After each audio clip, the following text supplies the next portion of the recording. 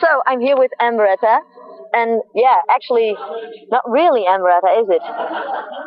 Or am I mistaken? It always is. It always is Ann Beretta. Okay, it's always Ann Beretta. Well, yeah, so we've got our uh when we agreed to come over and do this tour, our drummer unfortunately couldn't because of his work schedule. His job wouldn't let him take time off. So Yeah. um we made a phone call to our friends Nat and Rob, the Rufus twins here yeah. from the band Blacklist Royals Yeah. and uh asked if they would mind filling in on drums and second guitar for this this tour, Yeah. which they have done and Yeah, and they doing a great and job. they succeeded. Yeah. and then and then their band is touring immediately after this tour, so they're going to be over here for like a month. So Yeah. are you guys coming back over here to Belgium? I don't know. I hope so. You should. You really should. Yeah. yeah. Okay, so the way I'm going to structure this interview actually is using the Ten Commandments. So, are you guys religious types? I'm, I, Uh, I'm not. extremely. Extremely. So, um, in Belgium, yeah, most people are Catholic. That's how we came up with uh, the Ten Commandments. So, actually, first commandment is, "You shall have no other god before me." Yeah. So, actually, the question we have for you is, of course, it's not really about God. It's actually about your gods. So, did you guys ever have uh, gods in the music world, in the punk rock world, that inspired you actually to come here and do your thing? Okay, I like the spin. All right, that's, Yeah, yeah. yeah, that's, that's, that's better. Good. Yeah? That's- that's- that's- yeah, Okay, That's pretty good. Yeah. Rob? Rob? Let's see, musical gods. Um, yeah, I mean, I grew up listening to a lot of different types of music. My dad played music um, when he was, you know, younger. Um, so, I mean, I heard everything from like country music to, unfortunately, disco from the '70s, and um, I think as far as like a musical god, though, I would I think the first uh, bands that really inspired me to want to be a musician were probably the Clash and U2 like the, in the you know early 80s Yeah. like when mtv first came out and i started to hear like some of these bands that you know from different parts of the world that i'd never heard of before. So yeah definitely the clash and U2 Yeah, okay, so, yeah, okay, let's go to the next one because I have lots of questions for you guys. Yeah, just have to make haste. So, second commandment is, you shall not make for yourself any carved image. Well, the question I actually had for you guys was, where did you always dream of you'd be one day? So, it doesn't matter whether, whether you're in Ann Beretta all the time or not, so I'll just ask you two guys. so, what do you think? Uh, where did you guys think you'd be one day when you were like 15 years old and you dreamed of being somewhere, someplace? I always have dreamed of playing in Belgium. Yeah. Yeah. Oh. It came true last year, and I never thought it would happen again. And Yeah. Jesus Christ, here I am again. and uh, yeah, I can die tonight, and that's fine with me. Yeah, I As far as still I'm believe that. Yeah. If only we could get a show booked in yellow, oh yeah. it would be just over. That's Yeah. where she's from, yeah. Yeah, I'm from Yellow. It's it's a very cool city. I'm actually from Yellow Point. Yeah, so yeah, that's really awesome. Okay. Anyhow, yeah, okay, so that's where you wanted to be That's eventually. Yeah, so um okay. Next question for your brother maybe. So, what do you think? Do you think you've already accomplished some of your goals in music or uh, do you think you've still got a long road ahead? Yeah, um, I mean, we've done a lot of cool things that I would have never thought we would get to do. Uh, when Nat and I grew up, is Ann Beretta was one of our biggest influences of like how we developed our sound. So it's really cool to be, be able to play with them and Yeah. and uh, you know, especially like really improve upon their sound. yeah. You know. and, uh, Okay, we'll just state that for the camera. They've improved Ann Beretta sound. Okay, very good. Yeah, beautiful. Okay, let me just read the next commandment. If you do not know it, you shall not take the name of the Lord in vain. So, do you swear a lot? yes. Thank you. Okay. Let's go back to.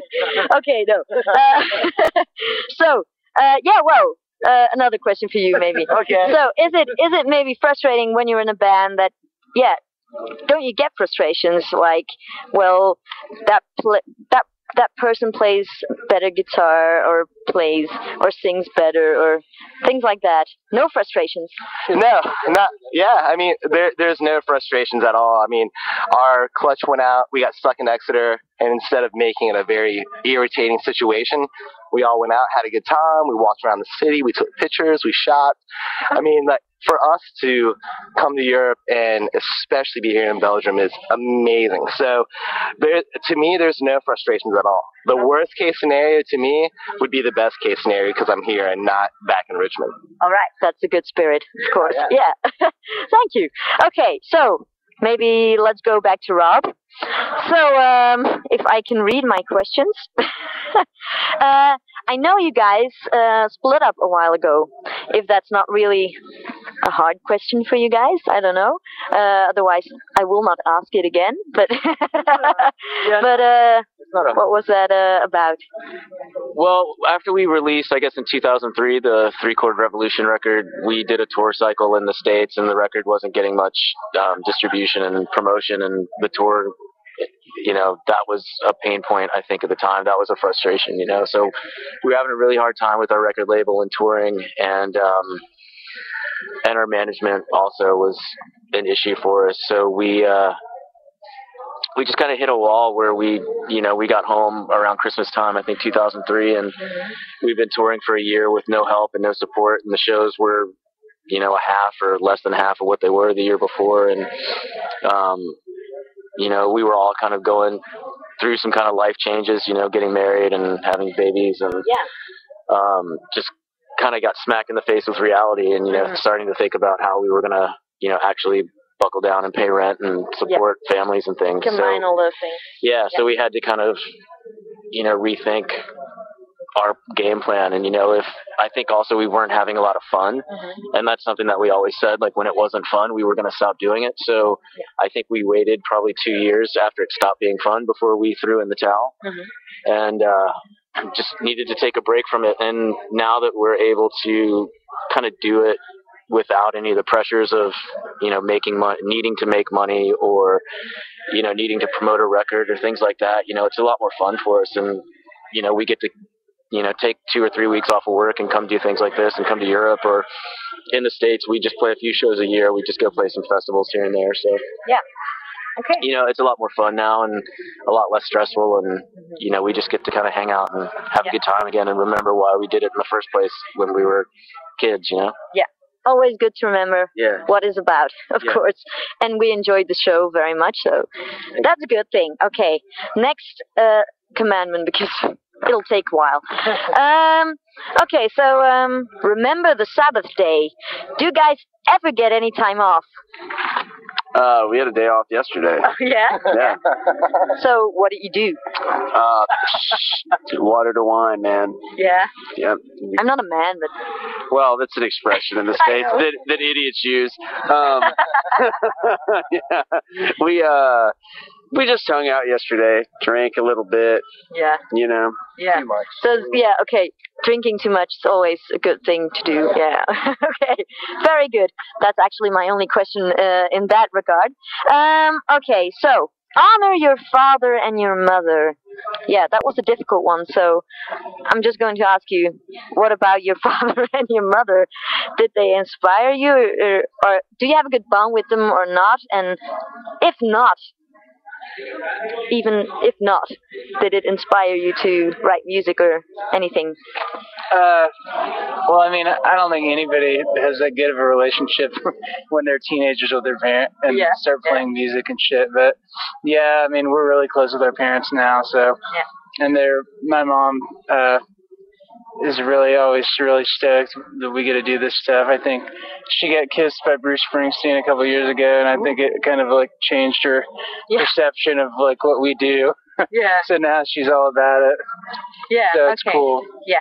So good relationship with your mother, always good thing. Always. Yeah, always a good thing. Okay, so next one is you shall not murder. Please, please, please don't. Please. yeah, I don't know. uh, but please don't. That's the first thing I want to say.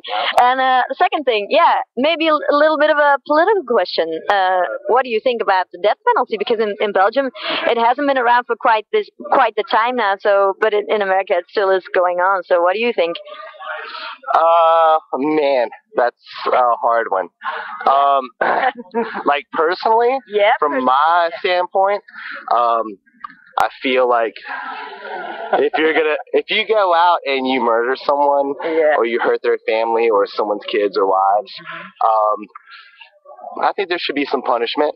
Yeah. Whether it's death or not, I don't know. Yeah. You know, uh, they could be mentally unstable, which you get that a whole bunch. So it's that's kind of like a loaded question. I don't want to shoot myself in the foot real bad, or really tell you how I feel. So, um, and on to the next commandment. And there's Robbie Huddleston. Okay. I know, I know, difficult question. One more, one more, one more. On the, when we're uh, on the political issue, well, uh, Barack Obama or uh, what's the other guy's? Mitt Romney. Tell me. Obama. Obama. Uh, Obama. Obama. All right. They're smart. Okay. Yeah, I, I, I hope, I hope you guys, I hope you guys were gonna say. I just very briefly. I wouldn't elaborate on it, but still, very good that you said Obama. He used Okay. New Revolution as a campaign slogan. What did he do? that he, he played New Revolution, the song, at one of his rallies. Really? Yeah, it's a new revolution, right wing revolution. Great. okay. didn't understand what the song was about until I Yeah. in that context. Yeah. Fucked up. Okay. Yeah. Good. Enough of the politics. okay. Um. Few more, then we're finished. So you shall not commit adultery. Do you have a wife or a girlfriend or anything like that? I do have a wife. Yeah. So, um, when you're on tour, for example, like this, you do not find it hard to just resist other girls or anything, groupies, things like that. Do you have groupies? Um, do I personally? No, I don't think I do. I just let I just live vicariously through some of these guys. Still one of them. Yeah, Yeah. yeah. What about you? No. no. No what? no. No comment. no. Okay. So seriously, uh, who of you has got a girlfriend or a wife? I have a girlfriend. I have a wife. Yeah, you have a wife as well. Okay. So what's your standpoint on adultery? It's bad. Very good. Your wife will be glad to hear that. Okay. I said it. No, don't. No. Edit that. That did not happen. Yes, I I love love and I love being married. Yeah. Okay. It's awesome. Very good. Very. What about you? Give me the URL. Uh, Send it to my wife. can you zoom in on my face, baby? Adultery is fucking bullshit. Anybody that would do that is a son of a bitch. And anything you and these questions are horribly translated as well, so you probably shouldn't even watch any of these interviews. This will be a great interview. Okay. Next one.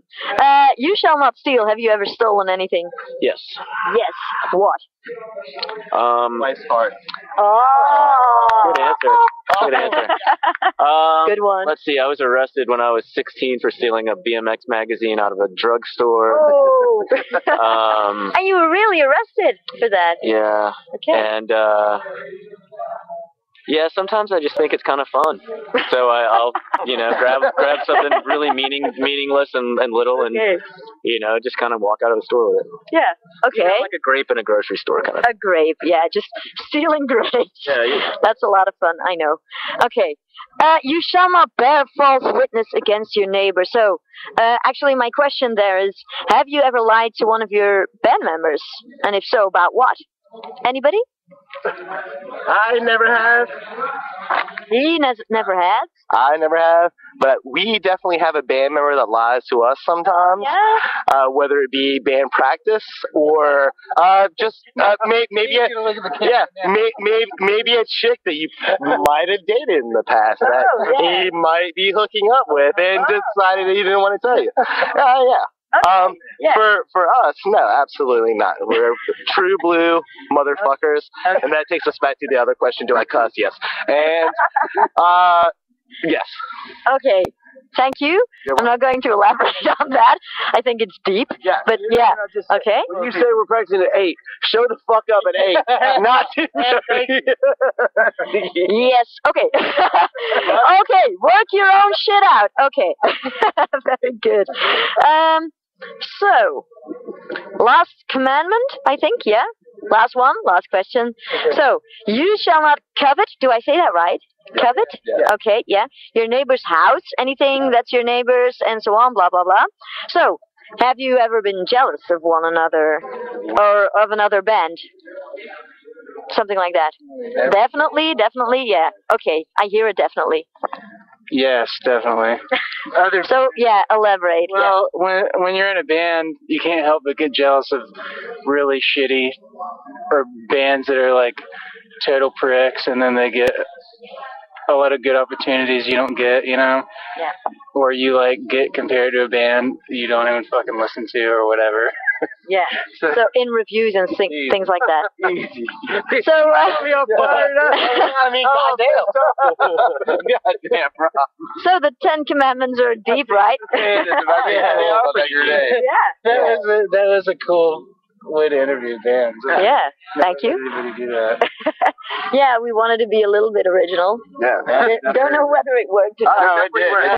Absolutely. Okay, so bless you all, guys, and uh, amen. Thank you for this interview. Hallelujah. Yeah, Ann Beretta, I love you guys.